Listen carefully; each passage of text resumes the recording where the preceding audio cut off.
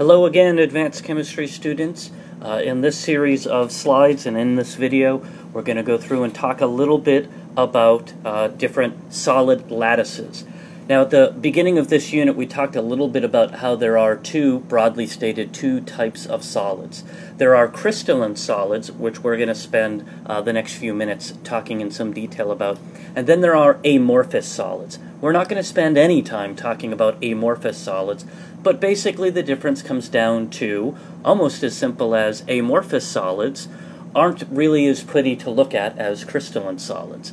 Amorphous solids, the atoms and molecules are not arranged in a regular pattern, whereas in crystalline solids, like some of the samples you see on this uh, first slide, have a regular arrangement of the atoms and molecules within the structure. That regular arrangement is going to be called a lattice. And what we're going to do is spend some time looking at specific types of crystalline lattices.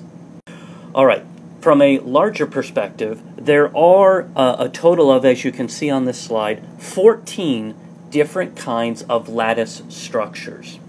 Now, a lattice structure is the entire arrangement of atom upon atom or upon molecule upon molecule, all of the Avogadro's number of molecules and atoms arranged in three dimensional space.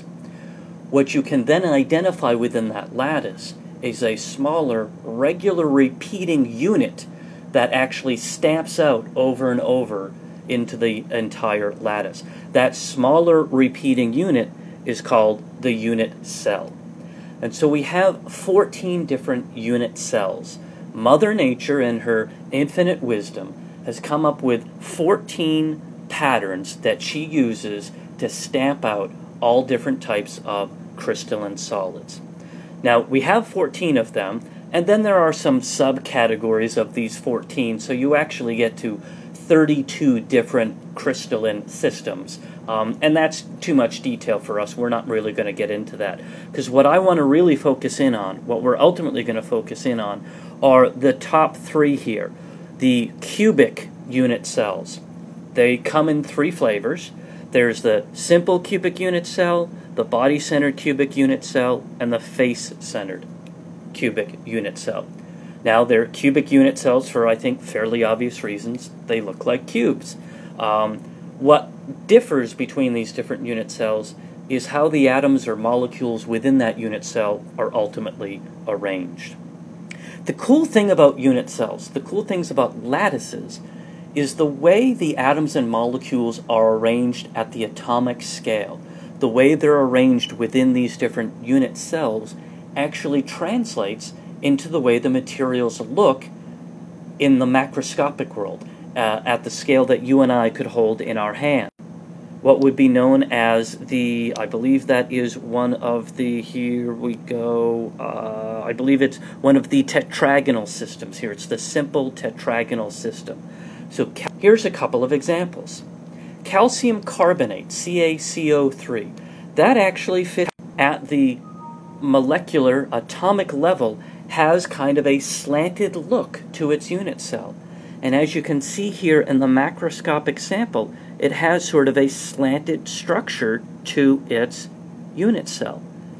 So, not surprisingly, the way the molecules and atoms are arranged at the molecular level translates into the way they're going to look at the macroscopic level.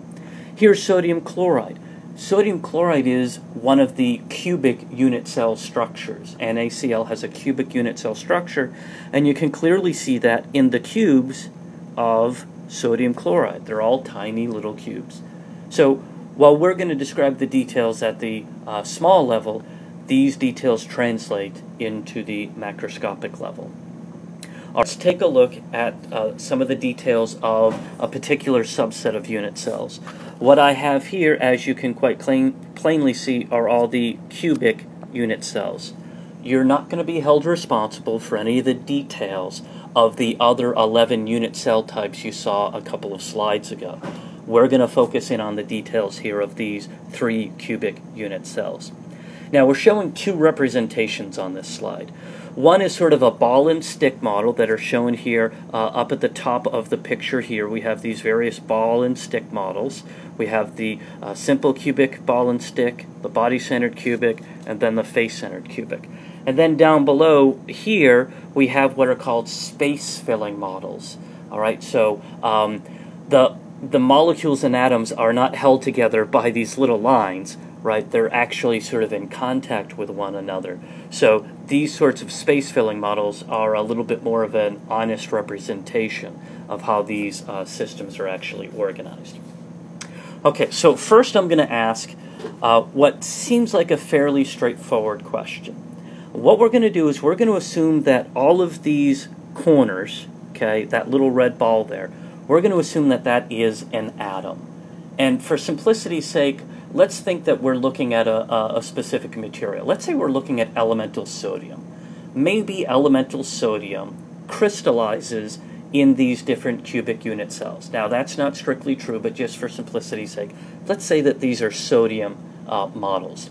So that little atom that I just circled, that represents one sodium atom. And so let me ask a simple question how many sodium atoms, how many of these little red circles are in a simple cubic unit cell? Seems like a pretty straightforward question. How many atoms are in a simple cubic unit cell? Think for three seconds, come up with your answer. While you're doing that, I'm going to do a little bit of erasing just to clean up a little bit of space here.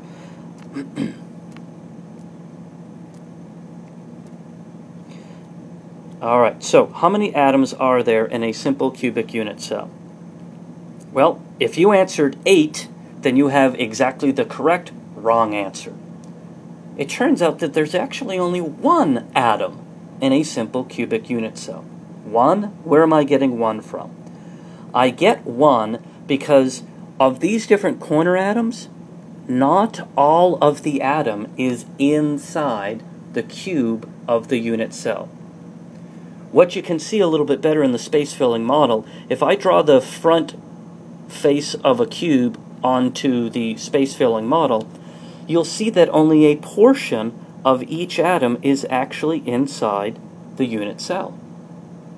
So what we have here is we have eight different atoms that are part of that cube, but each uh, atom only contributes one eighth of itself to the unit cell, so we have one atom in the cell, one atom per cell.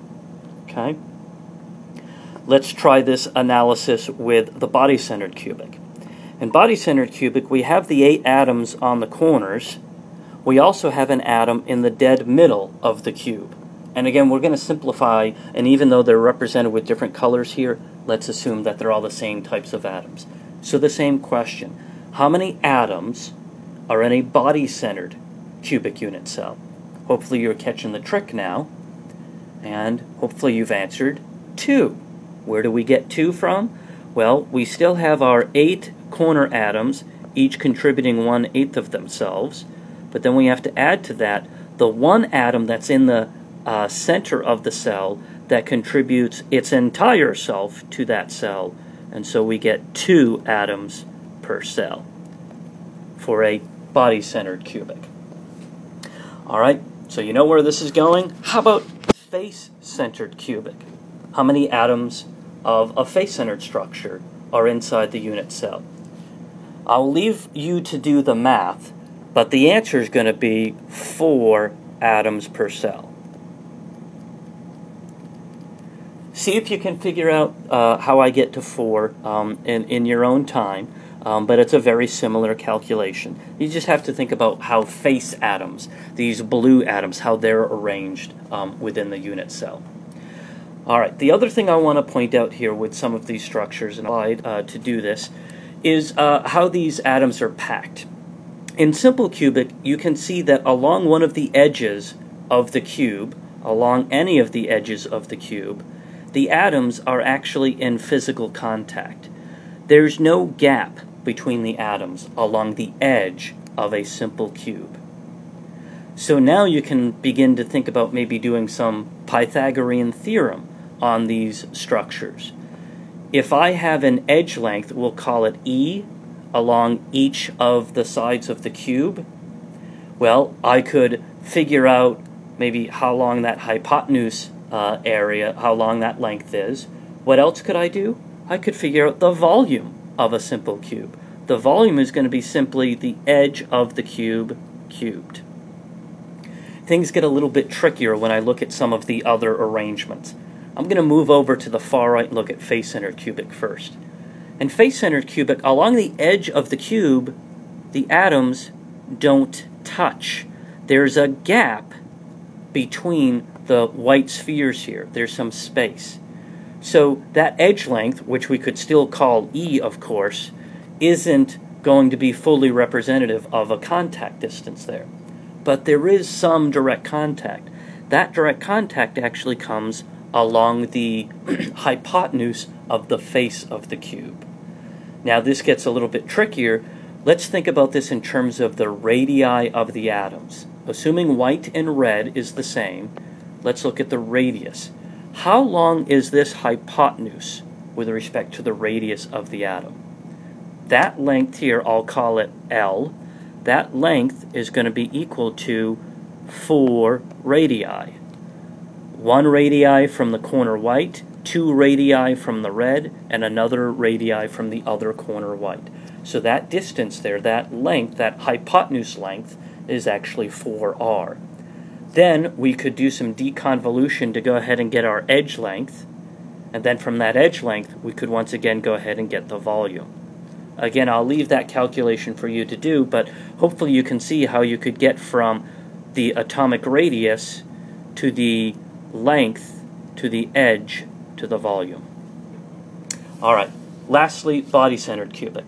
Again, we see along the edge that the atoms don't actually touch. Again, there's a little bit of a gap here. A smaller gap than what we saw for, say, face-centered, but there's a gap nonetheless.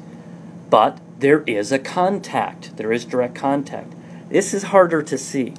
This direct contact actually goes through the body diagonal of the body-centered cube. So I'll show it on the on the ball and stick model. So this atom up here in the top left touches the body-centered atom, which touches the back bottom right atom. So there's contact through three-dimensional space through the body-centered cube. Okay. So then if I wanted to call that uh, some distance L, I could do a little bit of work and figure out how that L is connected to that edge and connected to that face diagonal. That's a little bit of a trickier geometry problem. But with some basic uh, Pythagorean work, you should be able to also work out how big the volume of a body-centered cubic unit cell is. And we're going to address these in more detail um, in class together. But I wanted to make sure you got to the introductions here of unit cells. There are 14 types of unit cells, three of which are cubic unit cells, those three being simple, body-centered, and face-centered cubic unit cells. Each of these unit cells have different numbers of atoms in them, 1, 2, and 4 for the different types of cubic unit cells. And then we can begin to think about doing other geometric-based calculations on these unit cells once we know um, edge lengths and information like that.